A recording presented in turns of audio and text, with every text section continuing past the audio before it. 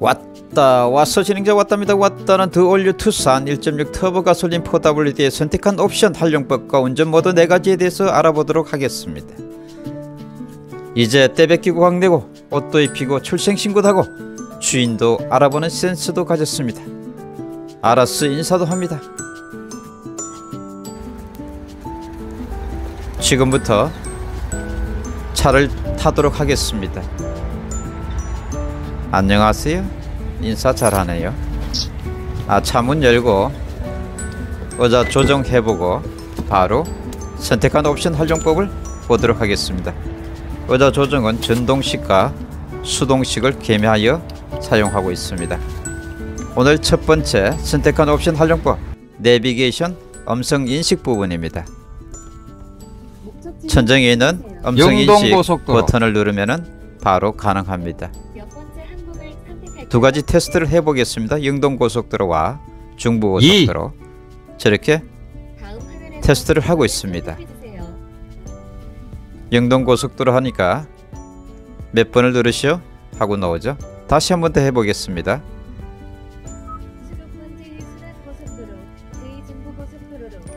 이번에는 중부고속도로를 한번 해보도록 하겠습니다.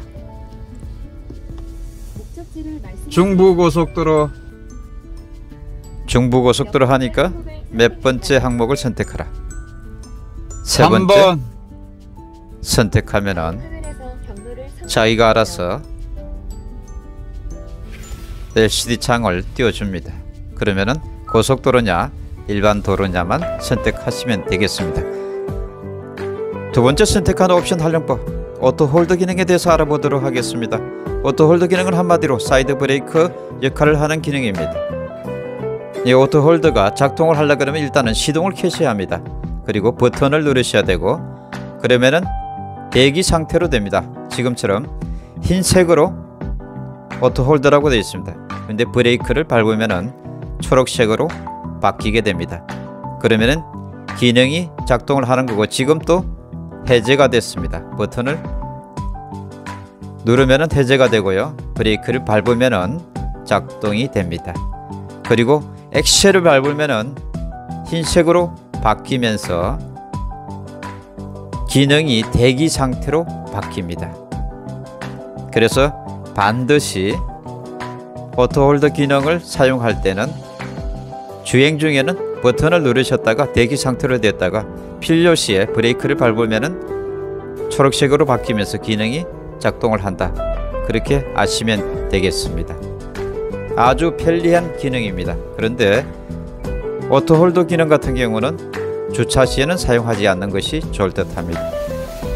선택한 옵션 활용법 세 번째로 사륜 구동 시스템 활용법입니다. 그 중에 첫 번째로 갱사로 저속 주행 시스템 작동에 대해서 알아보도록 하겠습니다. 이 경사로 저속 주행 시스템 작동을 하시려 그러면은 전자 CQ 보드에 있는 버튼을 먼저 누르시면은 계기판에 왼쪽에 보시면은 초록불로 들어옵니다. 그러면은 작동이 되고 있다는 것을 감지를 할 수 있고요. 이 기능을 이용하시려 그러면 60km 이하 있으면 가능합니다. 그리고 주행 속도가 4km에서 40km를 지속을 해줘야 됩니다. 그 범위를 벗어나면 자동적으로 경사로 저속 주행 모드가 해지가 되어버립니다. 결과적으로 평지에서도 갱사로 주속 모드가 해지가 되는데 지금 해지가 되었죠. 평지에 가면은 일정한 각도가 없기 때문에 해지가 됩니다. 다음은 언덕길, 눈길, 모래길, 흙탕길 등을 이용하는 사륜 구동에 대해서 알아보도록 하겠습니다. 지금 산길, 눈길, 그리고 바닥이 흙탕길입니다. 이 길을 지금 사륜 구동 시스템을 작동시켜서 오른쪽에 저 초록색이 들어가 있죠. 저것을 작동시켜서 이렇게 눈길을 산길을 걷더니 잘 올라가고 있습니다.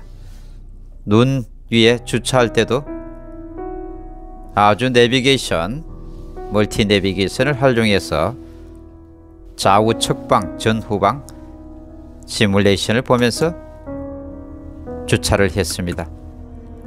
다음은 오늘의 하이라이트 들어가기 전에 조명 시스템 개별적으로 되고 그리고 천장에 있는 버튼 하나로 운전석과 조수석 그리고 2열에 있는 전등, 실내 등두 개까지 네 개를 한꺼번에 온오프가 가능하던 것까지 말씀을 드리겠습니다. 아 마지막으로 통합 주행 모드 시스템 드라이버 모드 네 가지에 대해서 알아보도록 하겠습니다. 에코, 노멀 스포츠 그리고 스마트 기능까지 첫 번째로 에코 모드입니다. 에코 모드는 차량의 엔진, 변속기 제어를 통해 가지고 연비를 향상시키는 모드입니다. 어디까지나 좀 비용을 절감하다 이런 차원이죠. 엔진이나 변속기 모드가 연비 우선행으로 작동을 하게 됩니다. 그래서 급가속 등의 연비 악화 주행이 억제가 됩니다. 이렇게 되면은 운전에 실제로는 방해가 됩니다. 가속을 해야 되는데 가속을 못하게 됩니다. 네커 모드를 선택을 해서 운전을 쭉 해보고 있습니다. 아 그런데 차가 사실 잘 안 나갑니다. 왜 그럴까요? 모든 것을 비용을 절감하고 연비를 절감하는 시스템으로 이 기계가 작동을 하기 때문에 그렇습니다. 그래서 실제 달려야 할 때 잘 못 달리고 엑셀을 밟았을 때 힘을 한꺼번에 다 받지 못합니다. 그래서 굉장히 무겁습니다. 운전을 하기에 편안할 수 있는 그런 구조로 만들어주지 못하지 않나 하는 생각이 듭니다. 굳이 그래도 많이 애껴야 된다. 연비를 절감해야 한다 하고 생각할 때는 에코 모드 선택도 가능하다고 생각이 됩니다만은 운전 모드로서는 실제 운전을 할 때 급하게 가야 되는데 답답한 감이 있습니다. 그래도 연비는 많이 절감이 됩니다. 그러나 아직 오늘은 연비 테스트까지 해보지는 못하고 운전 상태에서의 성차감만 저는 오늘은 테스트를 하겠습니다. 그렇게 편하지가 않습니다. 사실 엑셀을 밟았는데 안 나가면 답답하잖아요. 아 에코 모드에서 이렇게 답답함도 있지만 에코 모드를 절대 써서는 안 되는 경우가 있습니다. 냉각수 온도가 낮을 때라든지 오르막길을 오를 때 절대로 에코 모드로 운전을 해서는 안 되겠습니다. 다음은 드라이버 모드 두 번째 노말 모드로 운전을 해 보도록 하겠습니다. 일단 노말 모드 운전 때 차번이 부드럽습니다. 그리고 안락하고 편안하다. 그냥 집에서 베란다 테라스에 나왔다. 이런 기분이 듭니다. 성차감 굿입니다. 아주 좋아요. 오늘은 이 연비를 따지지 않고 성차감 부분만 테스트합니다.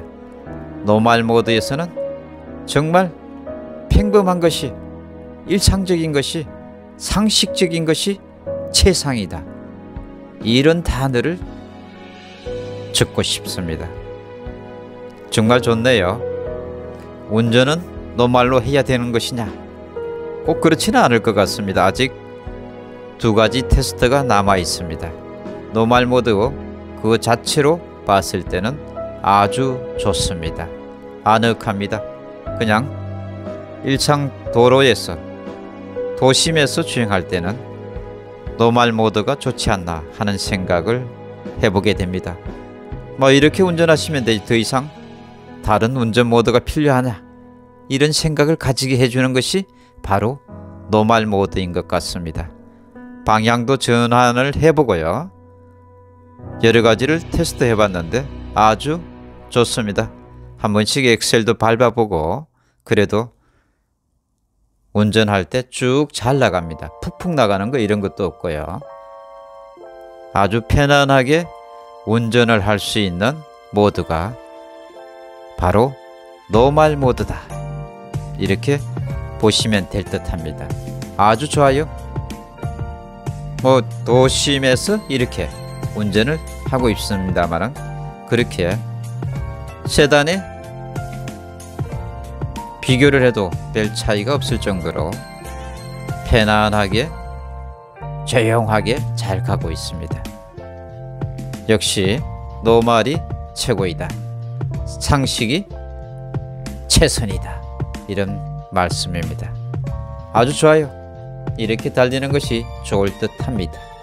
그런데 더 좋은 모드가 있을지는 다시 보야 되겠습니다. 다음은 스포츠 모드가 도전을 합니다. 스포츠 모드 말이 벌써 다릅니다. 뭔가 스포티하고 뭔가 스트롱하고 그런 것이 있지 않나 하는 생각이 듭니다. 엑셀을 밟았을 때 어떨까? 조금 있다가 말씀 한번 해드리겠습니다. 약간 소음이 있어요. 평상시에 갈 때는 별 모르겠습니다. 근데 엑셀을 한번 살 밟아 보니까 엔진 부분하고 밑에 차량 밑에서 들어오는 뭔가 소음이 좀 있는 듯 합니다. 운전은 스무스하고 잘 갑니다. 그런데 엑셀을 밟았을 때 훅훅 나가는 그런 감이 있습니다. 조금 있다가 속도를 좀 더 내보겠습니다. 스포티한 그런 느낌은 어떤 느낌인가? 과연 스포츠 모드에서는 연비는 좋지 않다고 하는데 그러면 성차감은 어떤가? 아 엑셀 한번 싹 밟아보니까 금방 올라갑니다. 역시 스포츠 모드에서는 이 핸들링이라든지 엔진 변속기가 뭔가 스포티하게 예, 주행을 해주는 것 아닌가 하는 생각이 듭니다. 그리고 가속을 했을 때 일정한 시간까지는 페달을 떼서도 그 가속했던 속도를 유지를 해준다고 합니다. 그래서 아마 쿡쿡 나가는 그런 감이 있지 않나 생각이 듭니다. 아주 잘 올라가요. 뭐 쭉쭉 올라가네요. 아 그런데 약간 엔진 밑에서 쑥쑥 소리가 올라오고 쿡쿡 하는 소리가 납니다. 아 뭔가 경쾌하면서도 춤추는 듯한 그런 기분이 듭니다. 역시 스포티합니다. 스포츠 모드에서는 조금 꺼려야 되는 것 중에 하나가 있습니다. 첫 번째는 연비가 많이 든다. 아무래도 쿡쿡 나갈 때는 힘을 많이 받아야 되기 때문에 연비가 연료가 많이 소모가 될 겁니다. 두 번째는 도심 주행에서는 하지 말아야 될 것 아닌가 하는 생각이 듭니다. 마지막으로 스마트 모드입니다.